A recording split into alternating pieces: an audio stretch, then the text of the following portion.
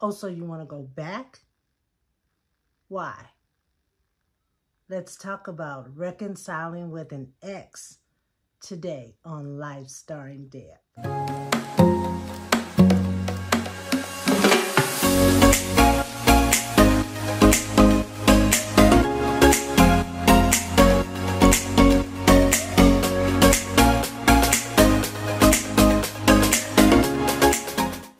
Everybody. Welcome back to another episode of Life Starring Deb. You know I'm excited to see you here today. And I thank you for tuning in each week. If this is your first time, go ahead and hit that subscribe so that you won't miss any future episodes. And you can go back and check out some of the ones that I've already done. So the last time we were together, I talked about reconciling with a friend. And I had some friends that called and said, like, you know, yada, yada, yada, reconciling with a friend, whatever, whatever. Talk about reconciling with an ex. And I was like, oh, yeah, okay, let's talk about it. So today we're going to continue the episode on reconciling with an ex. And we're going to dive into it a little bit and talk about the reasons why it's a good idea or reasons why it's not such a good idea to reconcile with an ex. So the first thing you want to do before you even consider reconciling with an ex is asking yourself, why did you break up in the first place? See, if you don't deal with the reasons why you broke up in the first place, those same issues will resurface.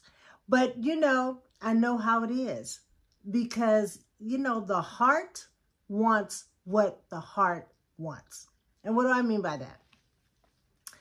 I mean, you know, we can listen to an, a record that we used to like to listen to with our ex, or we can go to a restaurant that we used to eat, or we can watch a movie. You know, movies all the time. Those movies where the couples break up and get back together and they live happily ever after, they make us feel like that's what I want. That's what I want. And your heart, you know, will start to beat a little faster and you start to reminisce because the heart is emotional. And sometimes emotions are hard to control because the heart wants what the heart wants. But then there's that old mind. The mind is practical and logical. And that mind will tell you, you know, are you sure? You sure you want to go back there? You know, remember what happened last time. It will remind you. It's more logical thinking where you got that warm and fuzzy feeling with the emotions. You get something totally different when that mind enters in. And sometimes the mind and the heart don't gel. But I don't want to be a Debbie Downer, okay? I don't want you to think that getting back with an ex is a bad thing because there are some benefits. There are definitely some benefits to getting back with your ex. And one of those benefits is that it's familiar and comfortable, right? You know, like a old pair of jeans. You know, you you know how it feels, you know how it looks. You don't have to go through the different stages of dating uh, because it's familiar. You don't have to get to know the person because you already know the person. Also, it's it um it makes you feel like you have history. You have history with the person because you know you laugh at the same jokes, you have those inside moments of things that only the two of you have shared together. You just kind of makes it makes you feel like you can just pick up where you left off because you have history with that person. And also there's there's nothing wrong with second chances. I mean, sometimes what happens is after you break up and you've been apart for some time, you start to think that, you know, maybe you should have stayed together. Sometimes, you know, you start to appreciate the person when you're no longer in that relationship. And that will make you feel like maybe I need to give that person another chance. So I can't just talk about the benefits of getting back with an ex. I have to also deal with some of the risk that you take when you get back with an ex. So a repetition of the issues because they were not resolved have a tendency to resurface. And if you haven't dealt with those issues and they resurface, what can happen is it can cause another breakup. And then there you are, back again within a relationship, out of a relationship, because you haven't dealt with the issues that broke you up in the first place. Also, it holds emotional baggage. Those emotions, those emotional baggage uh, from the past uh, that seem to keep lingering on. You're still thinking about the things that have happened that are emotional. And emotional baggage hurts. And no one wants to go back to the hurt and pain that the emotional part of the relationship had on us. And then though there are those trust issues. Trust, trust, trust. If you didn't trust the person before because of whatever it was that happened, those trust issues may still be there. And so everything that the person does that doesn't feel right, or maybe the person doesn't do it the way that you think, and you know, why did it take him so long to call me back? You know, he said or she said they were going this place and it doesn't take that long. And, you know, why does the phone keep going to, you know, voicemail? And why does he always take the calls outside or whatever? The trust issues, trust issues. If you had trust issues before and you haven't gotten help with those trust issues now that you are trying to reconcile, those trust issues will not go away because there'll always be that that thing like, oh no, it don't feel right. How can you move forward in a relationship if you have trust issues? And lastly, what I want to say about the risk is you risk meeting someone that you can be more compatible with, like a missed opportunity. You can't very well start up a conversation or get to know someone else while you're still trying to reconcile with an ex. So that could be a potential missed opportunity. I mean, maybe your person is not the person that you broke up with.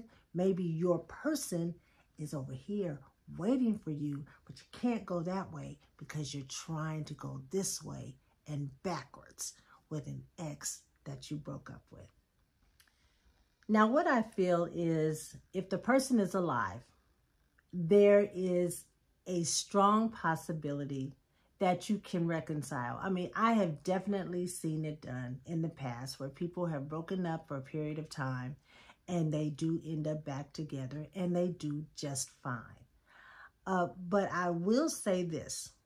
You're going to have to ask yourself the question, and you might have to ask that ex the same question. What if the ex doesn't want to get back with you? Okay. So, you know, as much as, you know, you're both alive and well, you might be dead to the person. The person may feel like, no, you know what? I don't want to go back. And if your ex is telling you in his or her actions or the way they speak with you or not returning your phone calls or whatever the case may be, then that is an indication that the person, your ex, does not want to get back together with you. And you're going to have to accept that because, I mean, they may try to be subtle in telling you, but if they are not as enthusiastic as you might be about putting your relationship back together or getting counseling or whatever it takes to get back together, then they're trying to tell you, I don't want that. However, there is a way to reconcile. You know, you can decide what type of reconciliation do you want? Because sometimes we break up and we don't even speak. And we've had a lot of history together. We've had a lot of laughs. We had a lot of good times together. And you want that. But you can get that as a friend. You can reconcile with your ex and be your ex's friend. You don't have to make that person your lover again.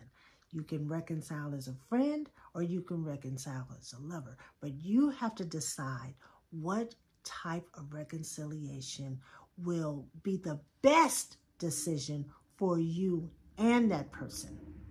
A friendship, lovership. Sometimes just being that person's friend, being back in that person's life as a friend is the best decision that you can make.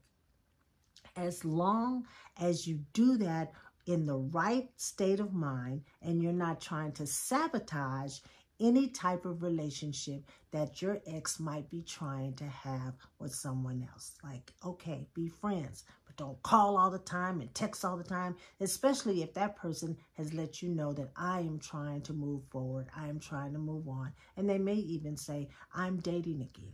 And don't get mad at that because, again, you guys broke up. So that let both of you have the freedom to go out and meet and date someone else. So, so don't sabotage the friendship by trying to be more than that, especially if your ex is saying, I don't want it. So what I'm saying is, if you decide that you want to try and get back with an ex, what I want you to do is be patient and understanding of both partners.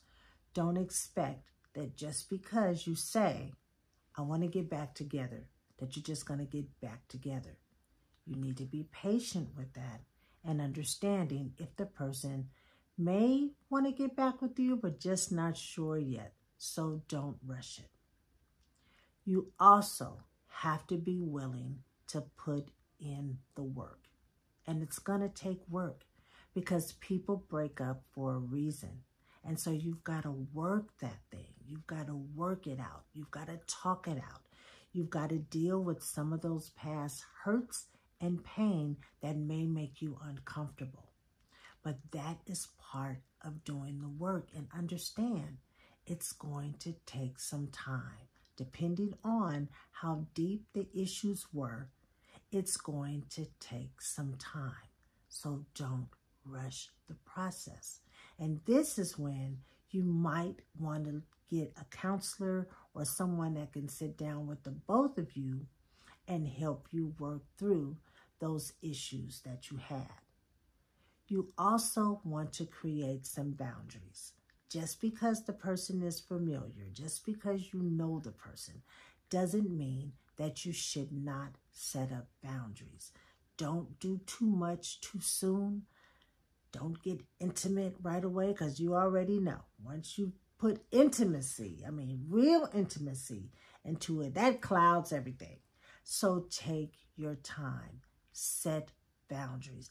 Don't just be so eager to get back in without thinking it through and thinking it through along the process and reevaluating what is happening and asking yourself questions. Does the, per- does the person appear to be changed? Does the person really want this? I mean, you've got to ask yourself the hard questions. And don't ignore the red flags because there may be some. There may be red flags immediately, but because we want what we want, sometimes we ignore the red flags and we think, oh, that's nothing. Oh, yeah, I'm used to that. That's, that's just who he is or who she is or whatever, those could be red flags that things have not progressed as much as you think that they should have progressed. And definitely you want to ask those same questions on yourself. You know, have are you moving too fast? Are you trying to get the relationship off to a good start because you know summer's coming or spring is coming or the holidays are coming or whatever, whatever. So you're rushing. Don't do it. Take your time because this time around, you want to make sure that you're setting yourself up for success, not setting yourself up for two or three months later into the relationship, you realize this was a bad idea.